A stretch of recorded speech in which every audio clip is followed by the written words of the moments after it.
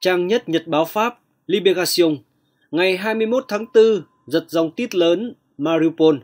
Chúng tôi có thể đang sống những giờ cuối của đời mình. Dòng tít ấy thậm chí còn át cả hình ảnh lớn hơn về cuộc tranh luận truyền hình giữa Macron và Le Pen được trình bày ở trên đó. Và nó được dẫn ra từ lời kêu gọi hỗ trợ khẩn thiết từ Sergei Vonia, chỉ huy tiểu đoàn thủy quân lục chiến số 36 của Ukraine đang cố thủ ở khu tổ hợp công nghiệp Azovstan, gửi tới các nhà lãnh đạo châu Âu. Cách đây chưa lâu, ở một địa điểm khác, một nghìn lính của tiểu đoàn này đã ra đầu hàng, mà lẫn trong đó có không ít lính đánh thuế nước ngoài. Thành phố ngầm dưới thành phố đang dạy cho Putin một bài học. Tờ Daily Telegraph của Anh dùng tít này trong một bài nhỏ ở trang 7. Họ ám chỉ hệ thống đường ngầm phức tạp được xây dựng trong lòng Azovstan. Số phận của tổ hợp công nghiệp luyện kim vốn có năng lực xuất xưởng 4 triệu tấn thép mỗi năm này quả thực gắn liền với những cuộc vây hãm.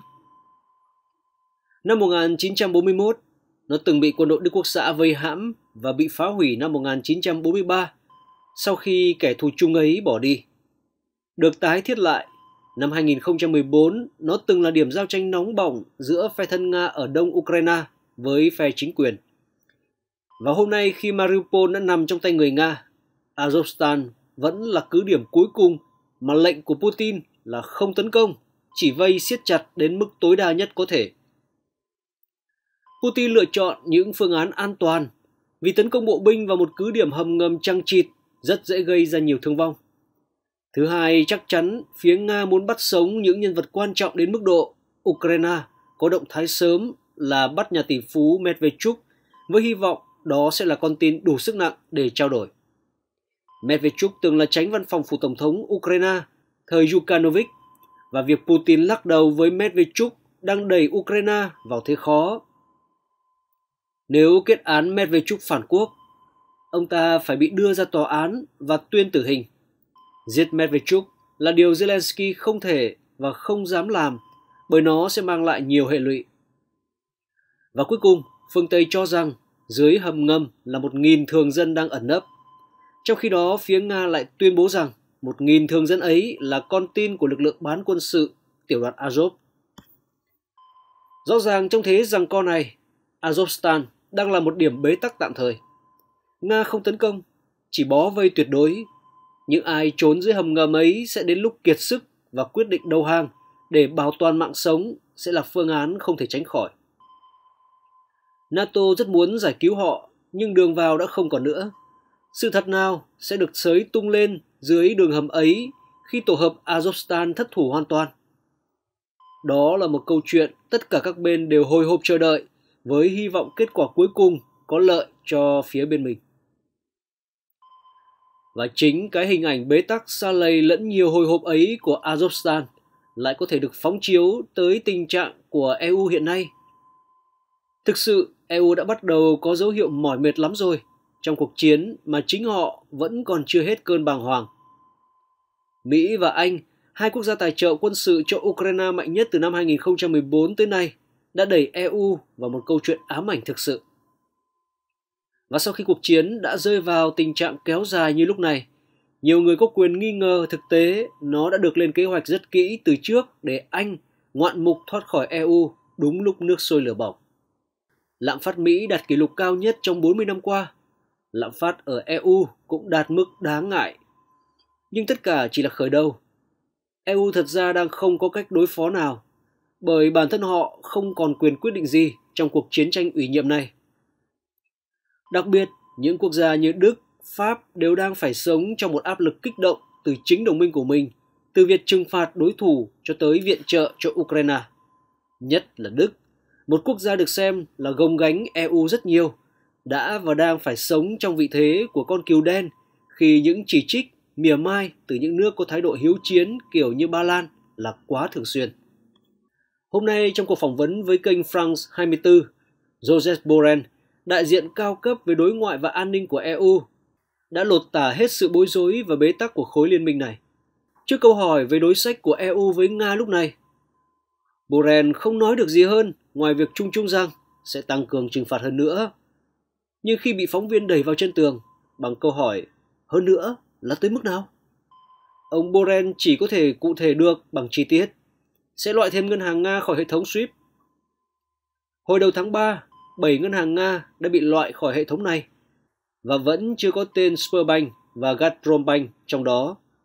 Đây chính là hai ngân hàng mà Nga dùng để giao dịch với châu Âu trong các thương vụ xuất khẩu, đặc biệt là nhiên liệu. Và phóng viên Frank 24 không tha cho Borrell khi đặt câu hỏi về nhiên liệu, nhất là khí đốt, và đưa ra mối đe dọa đình trệ sản xuất cũng như ảnh hưởng sinh hoạt do thiếu khí đốt. Borrell lúc này chỉ đưa được hai đáp án rất khái quát là nguồn cung thay thế và phải tiết kiệm sử dụng. Ngay lập tức, phóng viên chuyển hướng sang câu hỏi về an ninh lương thực. Cô phóng viên nhấn mạnh đến lúa mì và tình trạng giá bánh mì đang tăng cao ở châu Âu cũng như nguy cơ nạn đói của châu Phi. Chính World Bank cũng mới vừa đưa ra cảnh báo về thảm họa nhân loại về chuyện thiếu hụt lương thực này. Borrell đã thành lối mòn, tiếp tục dùng từ nguồn cung thay thế. Nhưng lần này ông ta không ngừng nhấn mạnh đến trách nhiệm quốc tế và cuộc phỏng vấn kết thúc với hình ảnh hai tay Borrell chống lên chán, đôi mắt nhìn đầy mệt mỏi. Chừng đó là đủ để cho chúng ta thấy rõ ràng các lãnh đạo EU đang trong thế bí như thế nào. Sẽ không nói đến chuyện dầu và khí đốt, không nói chuyện hệ thống SWIFT vì hai trừng phạt ấy chỉ là hình thức và vô nghĩa lúc này mà chỉ nên tập trung vào câu chuyện lúa mì là đủ. Nga là nước có sản lượng lúa mì lớn thứ ba thế giới, Ukraine đứng thứ bảy. Tổng sản lượng lúa mì của họ khoảng hơn 100 triệu tấn, theo số liệu từ 2019. Mỹ đứng thứ tư với tổng sản lượng 52 triệu tấn, Pháp đứng thứ năm 41 triệu tấn. Nguồn cung thay thế sẽ đến từ đâu khi bản thân mỗi quốc gia phải có dự trữ lương thực chiến lược, đồng thời còn phải đáp ứng ưu tiên sử dụng nội địa trước? Câu hỏi này đã có đáp án. Nguồn cung thay thế mà Joseph Borrell ám chỉ đến có phải là Trung Quốc và Ấn Độ, hai quốc gia đứng đầu bảng xếp hạng sản lượng lúa mì. Và nếu chuyển hướng sang lệ thuộc vào nguồn cung lúa mì từ hai quốc gia châu Á này, giải pháp có vẻ không khả thi lắm. Thứ nhất, đó là hai quốc gia đông dân bậc nhất thế giới. Do đó, nhu cầu tiêu thụ nội địa của họ là cực lớn và nhu cầu dự trữ chiến lược của họ cũng lớn không kém. Thứ hai, chấp nhận mua của họ trong tư thế cầu cứu như lúc này. Nó có thể là quyết định đòi hỏi phải có những thỏa hiệp ngoại giao nhất định.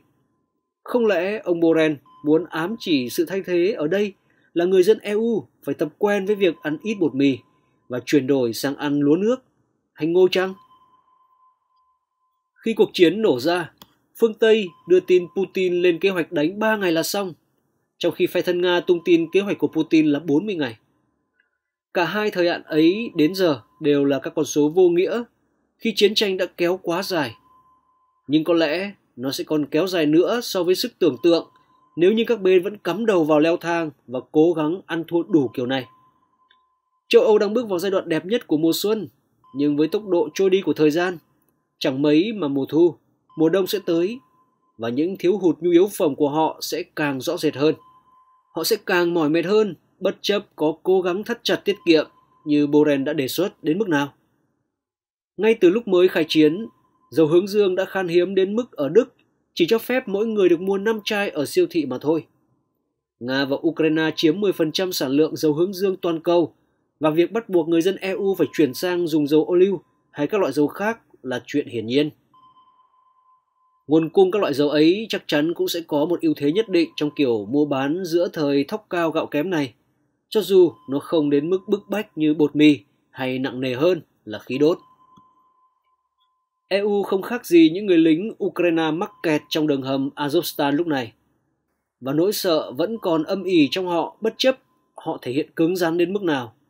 Nỗi sợ ấy được thể hiện không khác gì cách mà Macron chất vấn Le Pen rằng bà ta có thể gây ra nội chiến ở nước Pháp khi sẵn sàng ra luật bắt buộc bỏ khăn trùm đầu của phụ nữ Hồi giáo ở nơi công cộng. Cách chất vấn ấy chính là việc cố tạo ra nỗi sợ để lôi kéo cử tri cho dù kết quả trưng cầu cho thấy ông vẫn dẫn 10 điểm và 91% cử tri Pháp không thay đổi quan điểm sau cuộc đấu khẩu trên truyền hình. Nhưng cách chất vấn đó, bản thân nó cũng bắt đầu từ nỗi sợ của chính Macron. Không phải là sợ thất bại, mà là sợ sự thật. Macron cáo buộc Le Pen lệ thuộc vào Nga, lệ thuộc vào Putin, trong khi ông đề cao mục đích xây dựng một nước Pháp độc lập hơn. Và Macron sợ chính sự thật mà Le Pen đã mở màn cuộc đấu khẩu, đó là chi phí sinh hoạt. Còn nước Pháp chắc chắn đó vẫn là một quốc gia độc lập, nhưng trong các quyết sách Sự độc lập ấy nhạt nhòa, nhiều khi họ còn nằm trong một liên minh mà quyết định của Mỹ vẫn là tối thượng. Dưới lòng Mariupol là những đường hầm ngầm bí ẩn của tổ hợp công nghiệp Azovstan với hứa hẹn còn nhiều bí mật còn được che giấu. Nhưng trong lòng EU là gì? Sự bế tắc, sự chưa đồng nhất toàn bộ, sự bối rối và mối lo ngại thực sự về hậu quả của một cuộc chiến mà họ cũng sẽ phải gánh chịu một cách lâu dài. Quý vị và các bạn vừa theo dõi nội dung trên tư liệu mở Unboxing File. Xin cảm ơn vì đã ủng hộ.